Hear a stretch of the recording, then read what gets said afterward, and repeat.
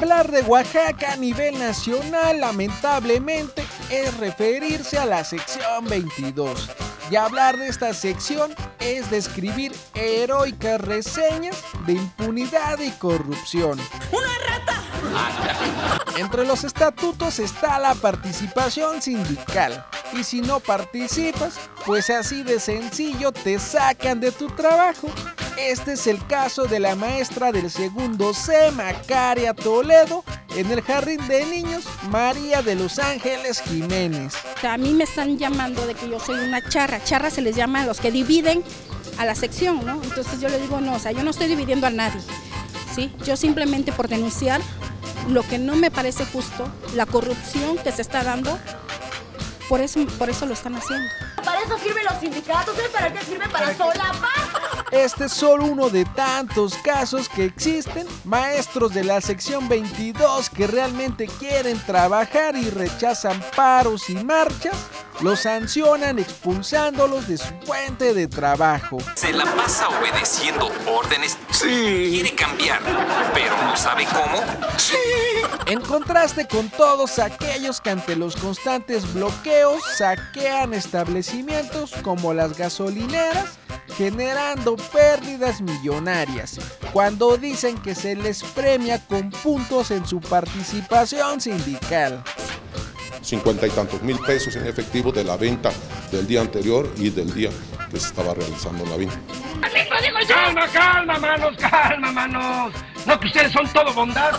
Entre mofas llegamos con el secretario de organización de la sección 22, Francisco Villalobos, quien dice que mientras no se presenten pruebas materiales ni testigos, no se puede inculpar al magisterio oaxaqueño.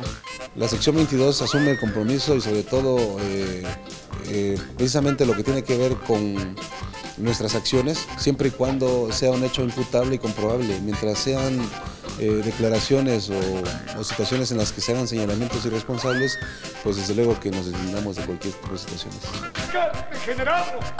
A pesar del daño que están causando en la entidad y que las autoridades no aplican el peso de la ley, todavía buscan la manera de cómo pagarles su nómina. Para eso me gustabas. Resulta que el secretario general de gobierno, Alfonso Gómez Sandoval, dice que el Estado se endeudará con 7 mil millones de pesos solo para pagarles a los de la sección 22.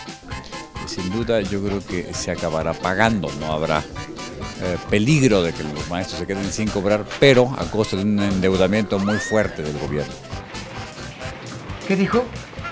¿Cómo? Y todavía se les premia, pues aunque no trabajen bien, que se les paga puntualmente sus quincenas. Pues sí, esto es Oaxaca. No desmayes. Tú eres el poder, tú eres la belleza, la luz, y la belleza es el poder. La belleza es el poder, el poder es la belleza, la belleza es el poder. Yo soy la belleza, la belleza es el poder, yo soy el poder, yo soy la belleza. Tú eres lo que comes, soy la, tú eres lo que hablas. Y recuerden, con los ingredientes necesarios, una buena machacada en el molcajete se queda y el tejolote lo presenta para MBM Televisión.